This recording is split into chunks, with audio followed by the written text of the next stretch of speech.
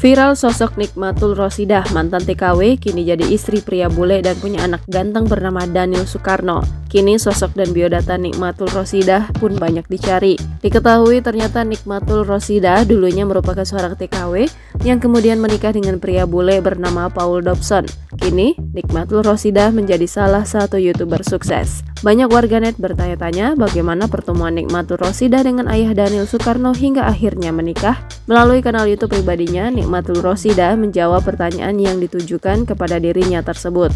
Mendengar pertanyaan yang terlontar dari istrinya tersebut, bule Kanada itu dengan lantang mengatakan bahwa pekerjaan bukanlah alasan yang penting bagi dirinya untuk menikahi Nikmatul Rosida. Penjelasan dari laki-laki tersebut diterjemahkan ulang oleh Nikmatul.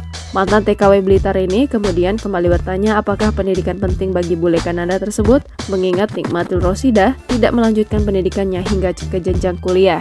Namun, lagi-lagi bule Kanada itu mengagumi istrinya bukan dari jenjang pendidikan yang ia miliki, melainkan dari pembawaan, pengetahuan, serta cara Nikmatul Rosidah memperlakukannya. Tak berhenti sampai di situ, Nikmatul Rosidah kemudian melanjutkan lagi pertanyaannya, yaitu dari segi fisik, Nikmatul Rosidah mengaku dirinya tidak begitu cantik, lantas mengapa suaminya memilih untuk menikahi dirinya?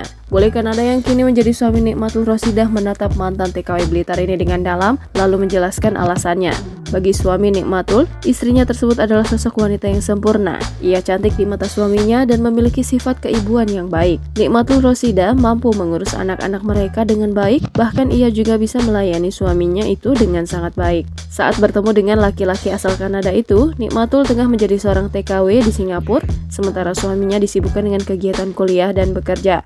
Mereka harus menjalani hubungan jarak jauh beberapa waktu hingga kemudian sepasang suami istri ini memutuskan untuk menikah dan menetap di Hong Kong. Kini kedekatan Nikmatul Rosidah dengan anak-anaknya menjadi sorotan warganet alias netizen. Diketahui dari pernikahannya dengan Paul Dobson, Nikmatul Rosidah memiliki tiga anak, yakni dua orang putri, Cassandra Kartini, Karisa Sartika, dan seorang putra Daniel Soekarno. Kedekatan Nikmatul Rosidah dengan putranya Daniel Soekarno kerap menjadi perbincangan publik.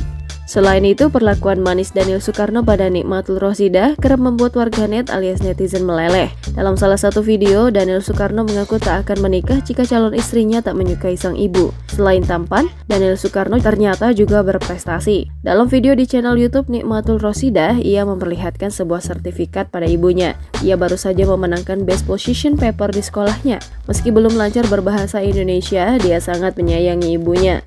Sang ibu pun menyambutnya dengan penuh hangat. Tidak lupa mengucapkan selamat atas pencapaian putranya. Sontak banyak warganet yang dibuat salfok dengan ketampanan Daniel. Jangan lupa subscribe, share, komen, dan like ya.